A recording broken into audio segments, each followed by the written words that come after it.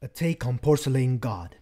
This is a really interesting and impactful story of a person who became an allergy specialist.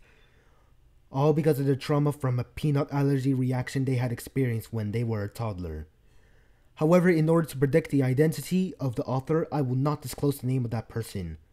I will interpret them with an anonymous placeholder instead for now.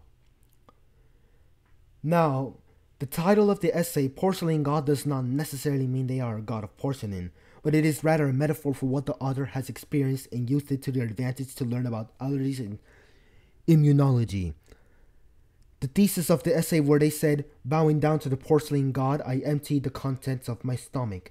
Foaming at my mouth, I was ready to pass out, is rather greatly exaggerated in terms of emotion. But that is the whole beauty of it. They explain how they felt when they experienced the allergic reactions. Specifically, they use hyperbole to emphasize the emotion and experience to make the words more convincing and touching for the readers. The essay pretty much begins with something they felt, and at the very end, they talked about how they want to become an allergy specialist and how they want to help kids, even. Considering that the author has also become enthusiastic about the field of allergies as well as immunology in broader terms. This major twist answers the question of this happened to you, so what? Because this essay is not based on factual research and is rather based on thoughts and experiences, there is no works cited page for this essay. Not even parenthetical citations or references in it. Any quotes, if any, properly flow with the tone of the entire essay. If a teacher were to be desperate for that student to make their essay based on factual research, then the author student would have instead written an argumentative or informative essay about it, using their own sources and giving credit with the works cited page, of course. Regardless, what stood out to me was this well constructed paragraph where the author talked about the their paranoia with eating after the allergic reaction incident. When they said, I became scared of death, e- eating, and even my own body, I found it really shocking and I feel bad for them when they experience those kind of thoughts. Furthermore, they thought be- be- that it became a curse for them when they said that they've become paranoid about checking food labels and refusing any to eat anything that isn't known to them.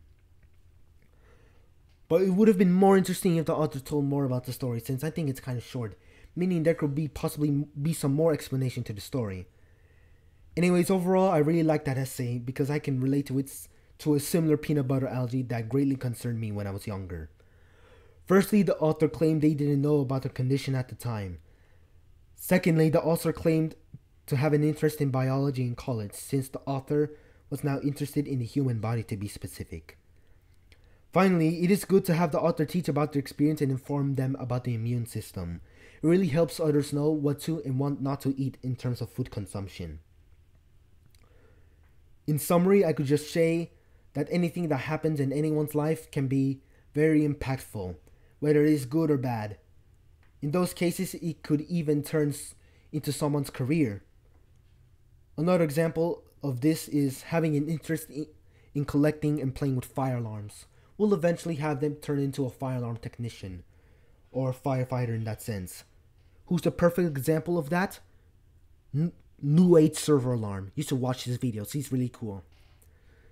So in case where in case where I got this essay from, it is from collegeessayguy.com slash blog slash college essay college dash essay dash examples hashtag porcelain percent 20 god.